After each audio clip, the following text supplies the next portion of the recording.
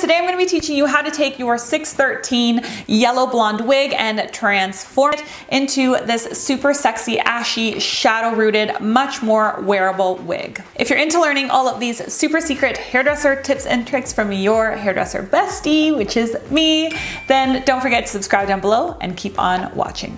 Here she is, here's our girl. So this wig is called Gabrielle and she's by Uniwigs and she is a lace front wig. So what I'm gonna do first is I'm gonna put her on a mannequin head. I don't have like a wig stand or like a wig head. So I just shaved one of my old mannequin heads and I used this mannequin head to cut and dye all of my wigs. So before we start, I'm gonna be honest here, there were a few tumbles along the way. Dyeing human hair wigs is actually very different than dyeing a normal person's head of hair. Even though wigs are human hair, they kind of take differently because the hair isn't just from one person, it's from multiple people. So the porosity levels on the wigs can sometimes vary. So you can kind of get areas that take a lot and areas that don't take at all. So you really, really need to be patient in your approach and you need to prepare yourself that you're going to need more than one coat for sure. That brings me to tip number one, prepare for a time consuming procedure.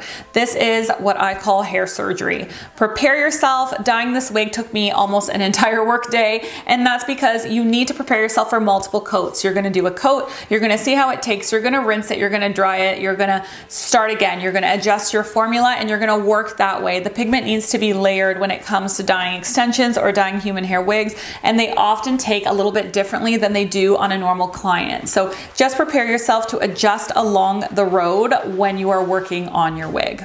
So the first color I started with here was a 7 Natural. I want this wig to look super ashy, but if I added an A or an ash into this formulation, I guarantee you it would turn green. And the reason I know this is because I've dyed a lot of 613 hair every single time you use an A on the first coat, it goes completely green. In reality, I probably should have added even a copper or a gold to the formulation to fill the hair shaft in in order to go darker because going from light to dark is more like a color correction. But I didn't want to do that because I was afraid she was going to get too warm on the roots and then there'd be no going back. So I just did a 7N with 10 volume developer. Tip number two, paint carefully so that you do not touch the lace.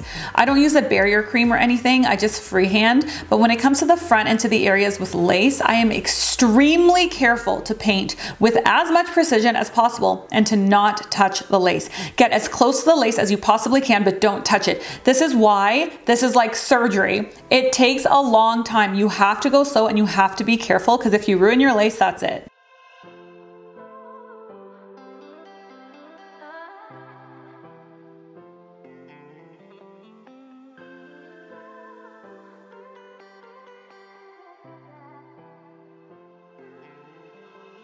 Tip number three, time your blonde toning appropriately to your permanent root color. So what does that mean?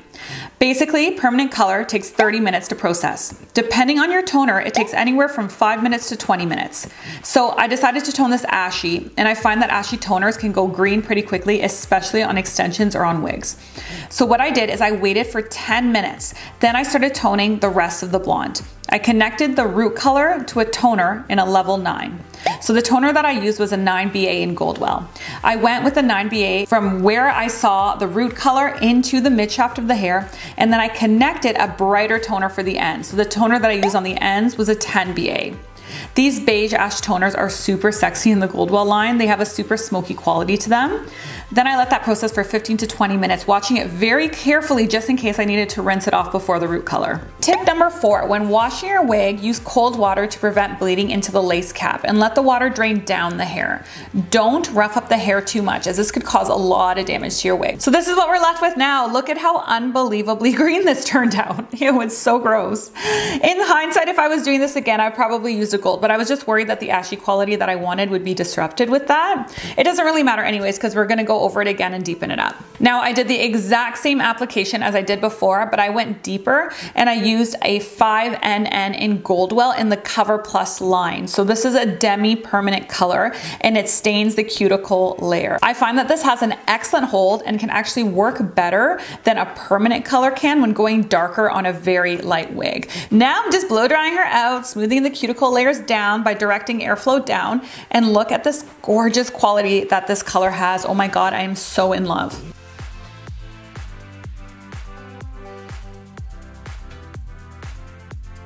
Now, when it comes to styling, I love using my T3 one and a quarter inch curling iron. The way that I achieve that modern, not too fussy, not too curly, wavy look is by clamping at the root, moving down the hair, winding up, unwinding the iron, pushing down, winding up to finish that curl, and then smoothing down to straighten out the ends. I did a whole video on this curl pattern. There's no talking in this video, but you can get a super clear view of how I actually create this wave. So if you wanna watch that video, I'll leave it in the pinned comment below. And this is how it turned out. What do you guys think?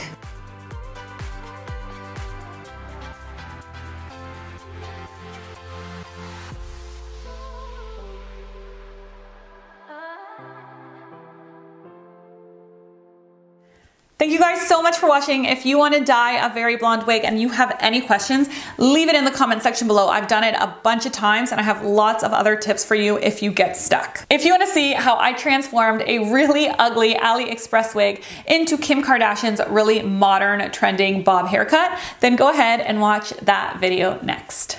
I'll see you next week. Bye.